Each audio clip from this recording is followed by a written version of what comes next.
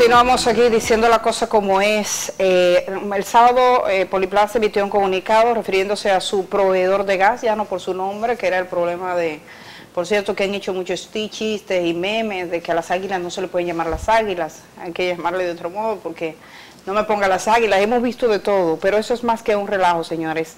Es la vida de la gente, de mucha gente que ha sido afectada. Yo quisiera que Santo Rosario, que conoce esa comunidad y que trabaja tan de cerca, sobre todo con los más pobres eh, de estas comunidades, que nos cuente el impacto, que además de Coín, donde les robaron bienes, yo calculo que un millón de pesos, según lo que usted ha ido diciendo, más, los daños estructurales. estructurales. Que nos cuente un poco cómo usted ha visto la vida de la gente, las comunidades, las casas destruidas y cómo va ese proceso.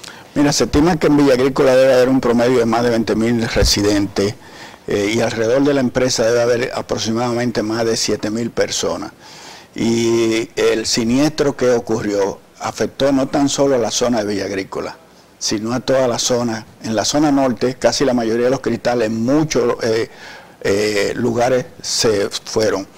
En relación a la familia, del lado donde tuvo la explosión, que tuvo, eh, quedaron varias casas totalmente destruidas, además de que hubo ocho muertos, de, la, de, algunos de ellos que vivían en la, que vivían en la comunidad.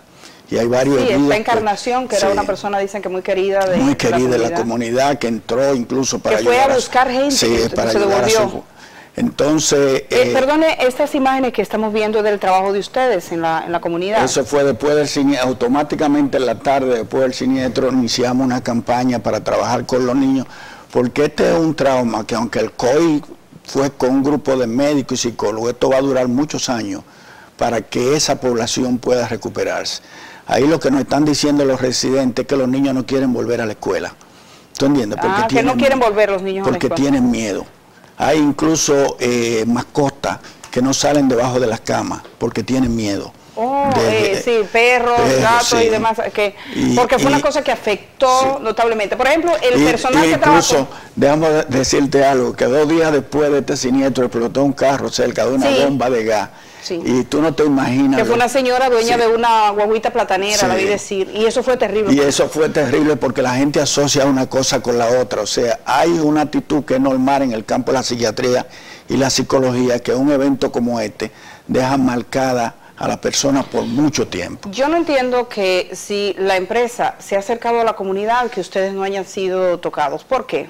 Porque ustedes tocan eh, infraestructura, conocen el barrio. O sea, cuando uno piensa, si yo me voy a, a, los lugares, a un lugar, busco a las organizaciones no gubernamentales más representativas, a, los, eh, los, centros, al cura del barrio, al pastor evangélico, a la gente que tiene una estructura organizativa que trabaja con la comunidad.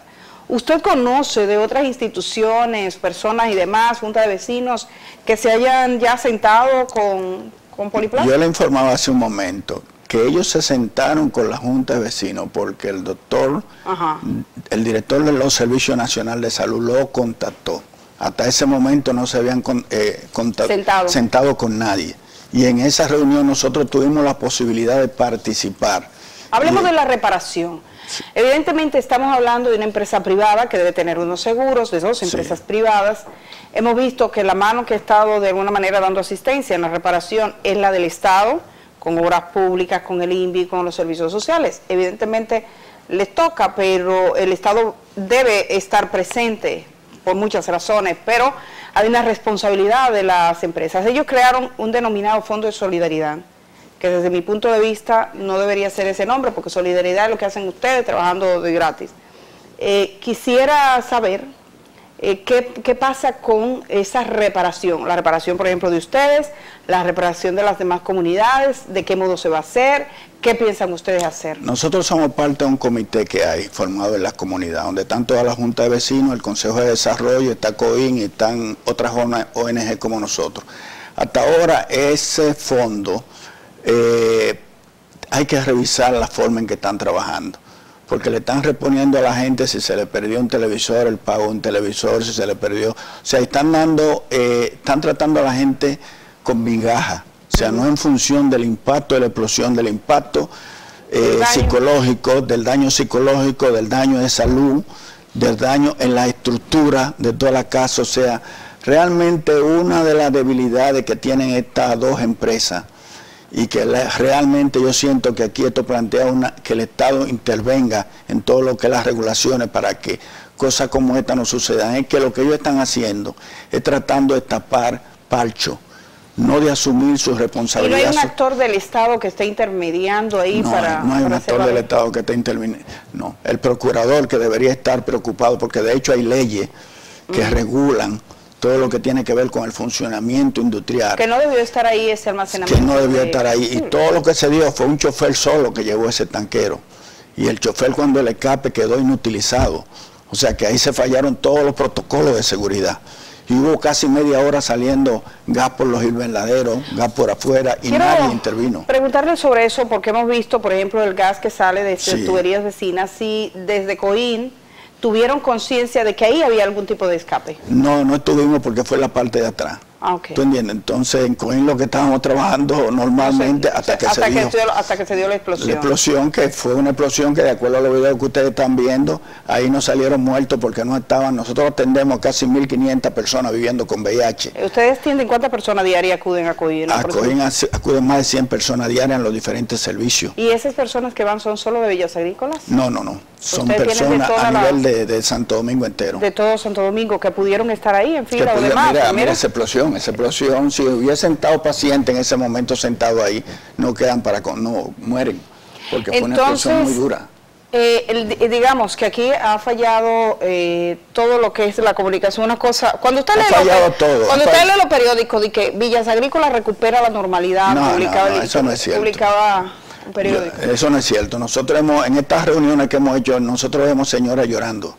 O sea, porque están todavía impactadas. Eso, el, efecto emocional de esa explosión no se supera muy fácil. Hablemos de los servicios. Ustedes son eh, una institución que aunque han sido golpeados, son prestadores de servicio. ¿Qué tipo de servicio están dando ahora? Nosotros ahora estamos dando dos bloques de servicio, que es importante esa pregunta. Uno, tenemos un observatorio de derechos humanos, hicimos una rueda de prensa con la Comisión Nacional de Derechos Humanos y hemos puesto a disposición de la comunidad abogados que de manera gratuita pueden asesorar a la comunidad en los reclamos que tienen que hacer para frente a las aseguradoras y frente a la empresa. Igual tenemos otro bloque de servicios que estamos coordinando con el SNS para que haya sí, Servicio Nacional de Salud para que tengamos tenemos ahí médicos, psicólogos, eh, laboratoristas que van a atender permanentemente porque el, el COI atiende durante un periodo de crisis, después se van. Nosotros vamos a quedar permanentemente atendiendo, dándole seguimiento tanto a los niños, las mujeres, los, hombres, en, el seguimiento que se le da a este tipo de casos. Bueno, vamos a dar el teléfono de ustedes por si alguna de las víctimas eh, necesita algún tipo de asistencia. Yo sé que, por ejemplo, los parientes incluso de personas fallecidas tienen muchas dudas de a quién asistir a mí misma me... Y mucha, desconfianza, y mucha, desconfianza, con razón que deben tenerla. Mm. Entonces, eh, me gustaría sí que le dieran un teléfono donde se puedan comunicar con COIN. Pueden comunicarse al 809-681-1515 y 809-245-4336. Hay mucha gente convencida. Los servicios son gratis. En COIN todos los Todo es gratis, no es para ganar dinero. Usted busca asesoría, no es para ganar dinero, sino buscan COIN, Villas Agrícolas, en cualquier teléfono le encuentran. Ya finalmente, Santo, antes de que usted se vaya, hay una idea metida en la cabeza de la gente. Y esa idea, aunque no parece tener fundamento, porque yo tengo que ser responsable y no puedo venir a decir aquí, ah, sí, me parece que porque mucha gente lo piensa así es, de que hay más muertos de lo que se dijo. A usted seguro le han dicho, no, que el vecino mío vio atrás que habían cuánto, que el Perencejo vio y siempre están diciendo, y a mí misma me han llamado, mire, pero usted no habla de los muertos, porque hay más. Yo le digo, bueno, pero estarían las familias. Si no está una familia, porque por, por, por, digamos, por solitario que uno ande, alguien reclama por uno. Yo no he visto gente reclamando. ¿A usted le ha mostrado la misma preocupación, supongo? Sí, a nosotros nos ha mostrado la misma preocupación, pero en honor a la verdad, hasta ahora mismo hay ocho muertos. Esa es la verdad. Y hay, hay bastante heridos, heridos que ya la mayoría están en su casa, pero tienen su herida. Eh, y hay todavía uno que creo que está internado en estado crítico. Sí, hay dos cuerpos que están identificando, que son de las dos mujeres. De las dos mujeres que salieron al video. Pero no tiene constancia de, que, de otras familias buscando muertos. Bueno, pues muchísimas gracias. Muchas gracias a usted. Les reitero de nuevo que nuestras instalaciones son es una ONG que está al servicio de la comunidad al servicio de la población es clave y que pueden ir gratuitamente al COIN.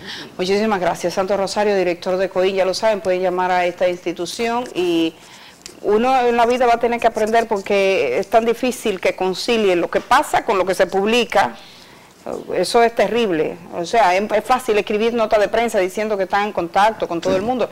Ya ustedes vieron. Yo quisiera decirle, bueno, tenemos el teléfono eh, ahí, eh, si alguno quiere participar luego de esta pausa, vamos a ir a la pausa y vamos a regresar de una vez. Tenemos para compartir con ustedes también al final los comentarios que ha estado haciendo la gente en nuestro canal de YouTube.